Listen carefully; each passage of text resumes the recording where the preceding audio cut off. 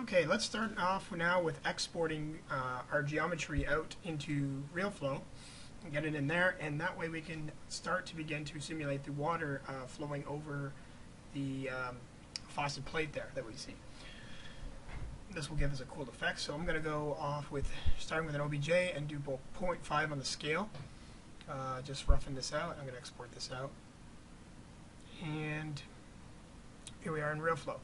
Alright, so let's import our object. Okay. And now as you can see we have just the plate and the bowl. That's all we need for this. We just want to get a quick simulation of water flowing from the plate into the bowl. And this is what's going to give us that kind of cool effect that we have in the renders. Alright, so I'm going to scale this down by 0.2. Okay. Like I said, guys, if you don't have uh, RealFlow, uh, not to worry. Either you know you don't have to have the water effect, but if you really want it and you don't have a clue on how to create some cool water effects in 3ds Max, give me a shout. Let me know, and I can apply a video for you guys uh, showing you a really quick example how to do that. But for now, we're just gonna simulate this and um, see what kind of cool effect we get. So I'm going to start off with a uh, circle emitter. Okay. Actually, no, we want to use a square. I bring this up. And like I said, I realized that this actually plate, the plate is actually, the water is supposed to come out from the edge, not from the top of the plate. But uh, that was my mistake earlier when I uh, you know, created this, before I created these videos. So, and I realized it in the render that it actually is supposed to go from the edge. But, oh well, this looks pretty cool anyways. So um, here we're going to put the emitter uh, just shy of the, uh, of the edge of the uh, plate. And we're going to run our first simulation. We don't have anything, only because uh, we have to up our resolution a bit. Just go to around 20.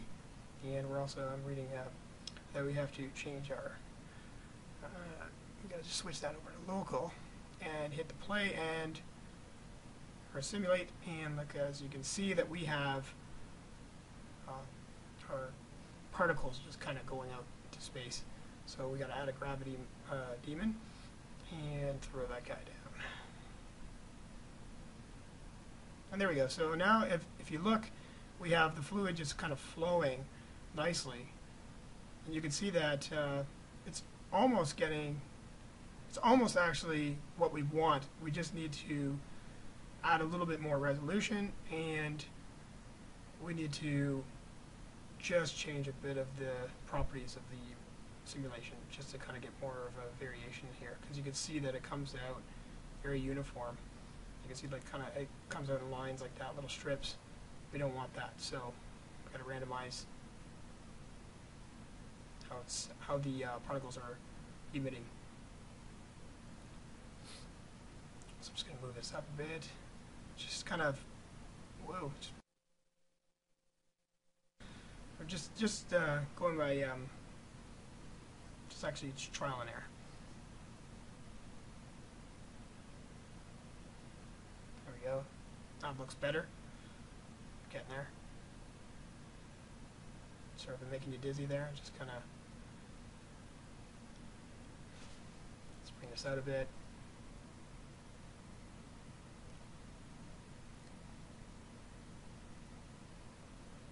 You can see it's just kind of pouring out. Um, this is very close to what we want. Let's just up our,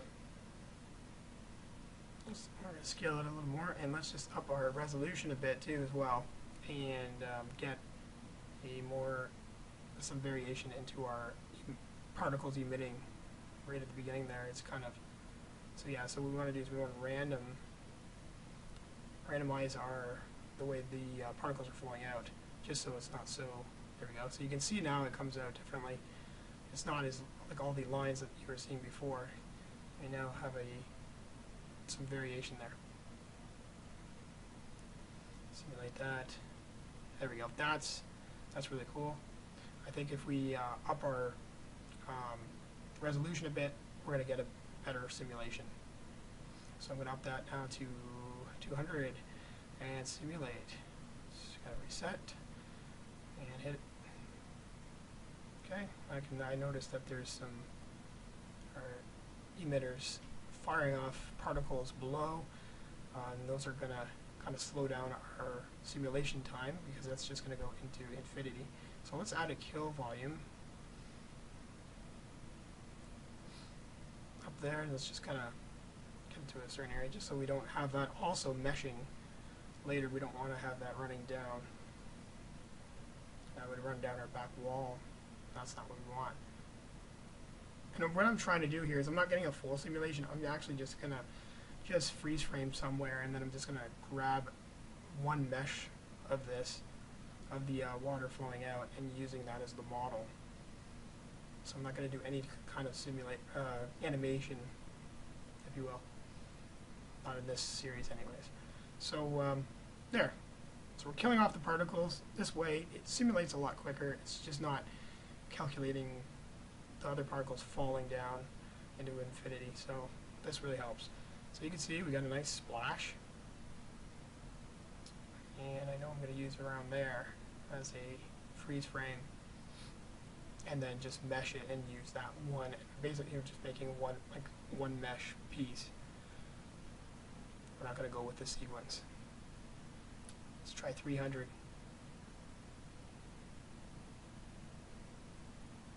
That's starting to look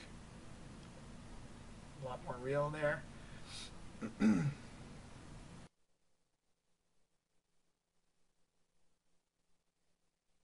the, um, this is really basic, but this is just kind of give me a quick effect that I want. And it's really cool when it when it renders out later on. So picks up a lot of reflections, whatnot.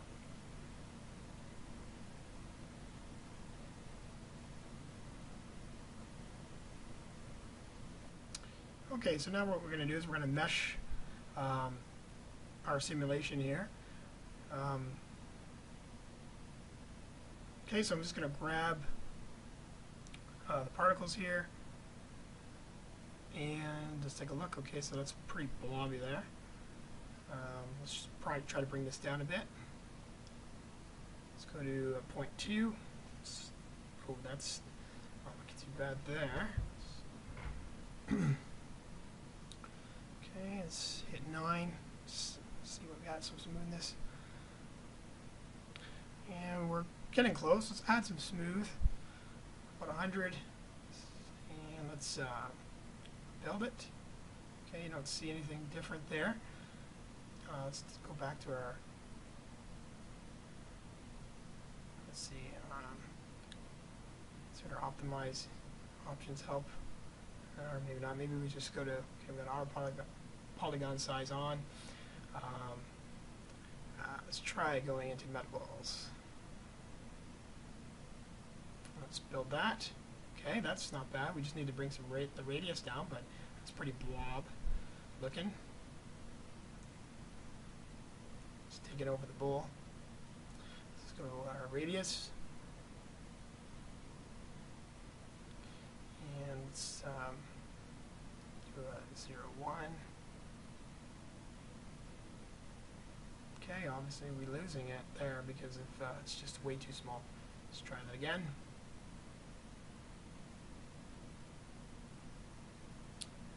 So it's just getting the, there's a few things you got to go back and forth on. Oh, I had that on. That's an, an accident. So there we go. So now we're meshing. That's my mistake. Whoa. That. Look at that. okay, let's change that. So we don't want to. We don't want to see that. There we go. That's looking better. Still a little bit uh, blobbish, but uh, thin this out a bit. Let's try going to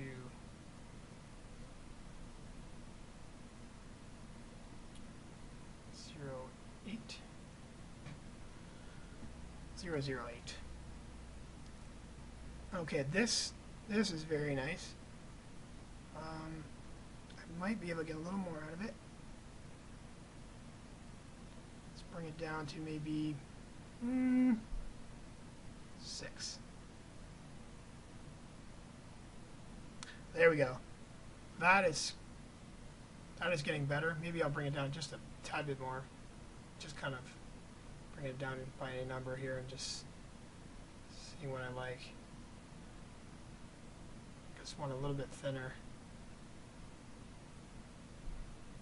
So, yeah, it's kind of thicker on the edge there. Water needs to be a little bit.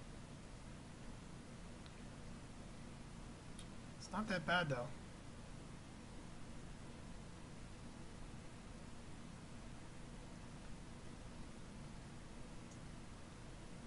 Let's do some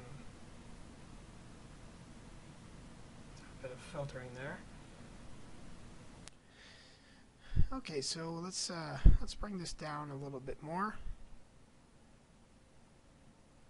Okay, that's a little bit too too low, so we're gonna have to just bump it back up. And uh, mm, it's not exactly what we want. It's very broken up in the edge there, so we're gonna have to see. We don't want no filters on. Let's run that again. Nothing. Um, okay, so if I try this smooth and bring it back to 50. Okay, that that uh, is worse, so we don't want that. So go back to 100. And all right, let's just go back to our radius. Let's bump this back up a bit. Okay, there. That's that's that's the results right there. That's exactly what I want. All right, so it's just a radius issue, so we just gotta be aware of that. Now we're just gonna build the mesh uh, real quick so we can get the bin files. And I like frame 38, and that's where I want my still frame. So we'll grab that. It's gonna run the whole thing here. I don't, I don't care about anything but frame 38 for this still. Okay, you can see this cool simulation we got going. This is really neat if you want to have a animation uh, of some sort. You can uh, you can use RealFlow to get some really cool effects with the fluid. Okay, we're gonna jump back into Max and open up the bin file uh, that I just exported out from RealFlow, and uh, this is like a sequence of the mesh that was just loaded from uh, frames uh, 1 to 38 or 0 38. Um, so you can see at the bottom there it's a little small, so we're going to have to scale it up towards the bowl and get it up and fit it into place. And that's just because of a scaling issue that uh, that I've done with uh, RealFlow. Uh, I'm not really worried about it at this point since this will be just uh, one frame. So I'm just going to fit it into place. Alright, so let's get this thing scaled up. Let's see here, that's frame 38 there. That's exactly the frame I want. Just going to kind of try to get in there and match it up as best as possible.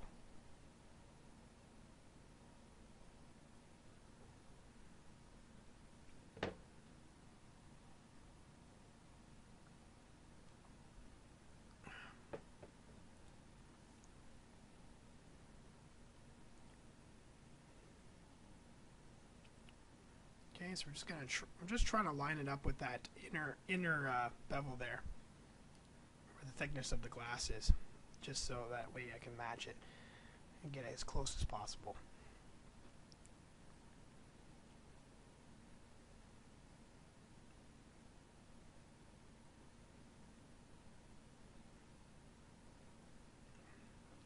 That's pretty close. Alright, so we notice that there's some, uh, the mesh is quite low res and that's because of the polygon size that was that came out of uh, RealFlow. So um, you just, just want to be aware of that as well. But since I can use Turbo Smooth in Max, we'll be able to get it uh, looking pretty uh, pretty cool looking, a little more dense. It's kind of blocky. So let's go to our Turbo Smooth, and you'll see what I mean by that. It's already a huge difference there. Um, quite nice. This will uh, should work.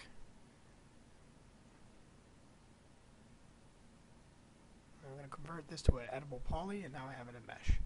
So there's no more sequence uh, there's no more mesh sequence to this anymore. So we're just gonna put this down, uh, or actually put that to two, and there we go. So you can see, guys, um, you know, this is pretty, pretty straightforward. What I just need to do now is just take away this uh, extra mesh that we didn't want there that was flowing over from the uh, emitter. So I'm just going to actually grab these uh, vertices here, and I'm just going to delete them out. We're not going to see it. So I'm just going to clean this up.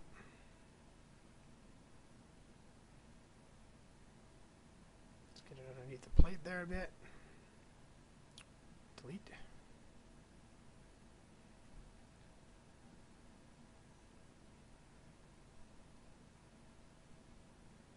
Okay, we're just going to grab the bottom corners here. Get that, rid of that, and go around here.